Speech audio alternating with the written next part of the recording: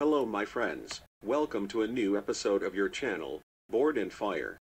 Today's episode is about a match for the greatest chess legend through the ages, the immortal hero Robert James Fischer, and distinguished by that match is that he was at the age of 15 in the US Open Chess Championship, where we previously presented him with an analysis of the match of the century against Donald Byrne at the age of 14 in the U.S. Championship and we told you at the time that despite his remarkable brilliance in the championship, he did not win it but he won the following three championships, and this was the first championship he won.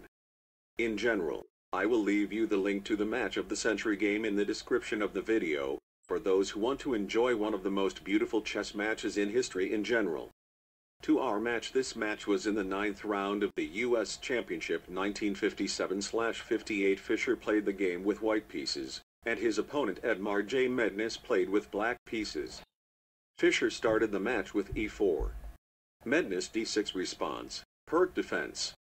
d4 knight f6 knight c3. G6, bishop g5 and with this move he chose the young teenager Byrne variation, an appropriate offensive variation of the eager Fischer to prove himself. Bishop g7. Queen d2, prepares for a long cast, and attacks the bishop of the black if he casts. h6. Bishop f4. c6 This move is intended to prevent the knight's attack. Prepare to pawns storm on the long cast, and also can attack the middle at any time. Long castling. Here the black could carry out his plan and start the pawn storm, but he played a move that weakened his position after that which is queen a5. King b1 is a security move from Fischer, as the king deflects any threat of check in an open diagonal, and increases the pawn's protection, so the knight can participate in the attack. g5 bishop g3. Knight h5. Although the search engine suggests the move knight e2, to defend the bishop, Fischer plays bishop c4 b5. Fischer here could play knight captures pawn. Of course the black can't capture the knight directly or else he loses his queen, so the best move here is queen captures queen. Rook captures queen. Even here he will not be able to capture the knight, otherwise he will lose the rook with the move, bishop d5. So the best move here is d5 bishop b3. Once again he can't capture the knight otherwise he will lose the rook, and the best move here is knight a6, to prevent the four. The match is completed with the moves that you see, with a neutral position. But here Fischer played bishop b3 knight d7. f4 knight captures bishop. Pawn captures knight. g4. e5. d5. F5 knight b6, the threat is now knight c4 as it threatens to capture a pawn for free. Queen f4 to escape the expected knight threat, protect the pawn and the threat of that pawn. Black here was supposed to play h4, to protect the pawn, but here he played e6. Fischer seizes the opportunity and plays queen captures pawn, winning a pawn. Bishop f8. Pawn captures pawn. Bishop captures pawn. Queen f3. Long castling knight h3 is getting ready to play knight f4 but if the black plays bishop captures knight, he will fix the Fischer's pawns. Rook g8 to exploit the open file. Queen f2 knight c4. Bishop captures knight. b captures bishop. Now this bishop became useless because of his pawns lumped on the white squares. But this open file may be dangerous to him. So Fischer played a seemingly strange move which is king a1. Rook d7 is preparing to occupy the open file. Knight b1 Rook b7. Now Fischer played an excellent move that aborted all the offensive attempts of the black, which is c3.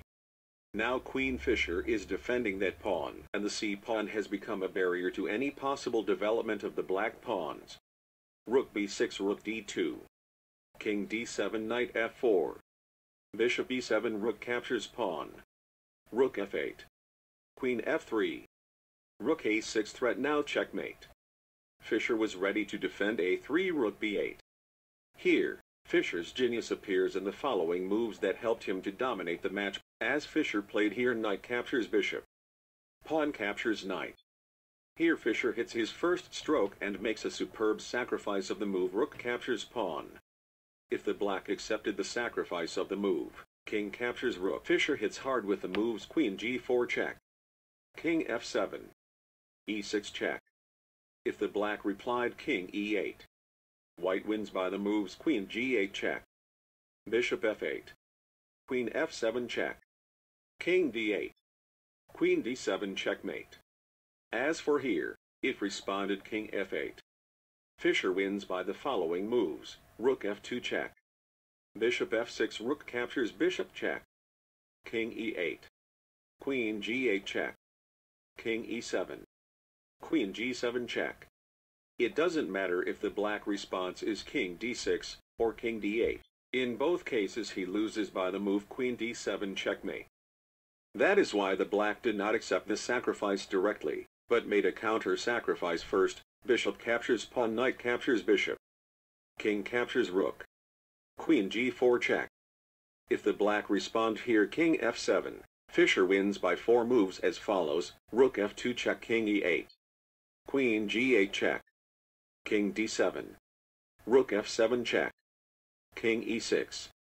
Queen g6 checkmate.